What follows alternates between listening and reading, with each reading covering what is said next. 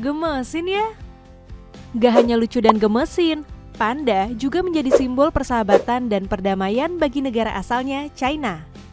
Itulah kenapa China kerap menggunakan panda sebagai strategi menjalin hubungan bilateral dengan negara lain atau disebut dengan diplomasi panda. Awalnya, strategi ini sudah dijalankan pada zaman dinasti Tang yang dipimpin oleh Kaisar Permasuri Wu Zetian pada 685 Masehi. Saat itu, Wu Zetian memberikan sepasang panda untuk Jepang sebagai tanda persahabatan. Hingga akhirnya pada 1984, China pun berhenti mengirimkan panda-pandanya ke negara lain secara cuma-cuma.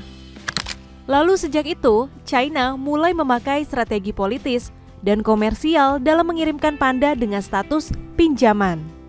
Ya, dengan status itu, China mewajibkan negara yang dipinjamkan merawat pandanya dengan baik. Bukan tanpa alasan, sebab China khawatir akan penurunan signifikan jumlah panda. Terhitung hingga kini, China telah meminjamkan panda-pandanya ke 18 negara. Ada 65 panda raksasa, termasuk 32 anak panda yang lahir di berbagai negara itu. Indonesia pun termasuk ke dalam negara yang dipinjamkan panda-panda mengembaskan ini.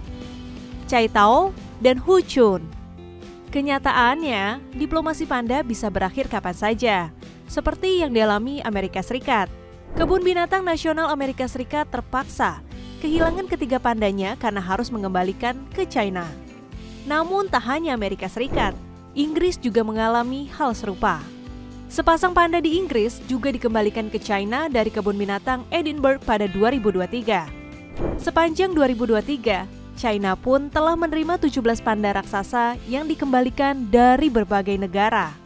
Adapun panda-panda pulang ke kampung halamannya ini terjadi lantaran Amerika Serikat dan negara sekutunya berselisih dengan China.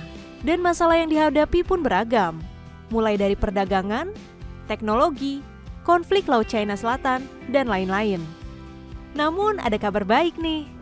Tahun ini kabarnya Presiden China Xi Jinping akan mengirimkan lagi sepasang panda ke Amerika Serikat. Hal ini pun dilakukan untuk memperbaiki hubungan yang sempat bersih tegang.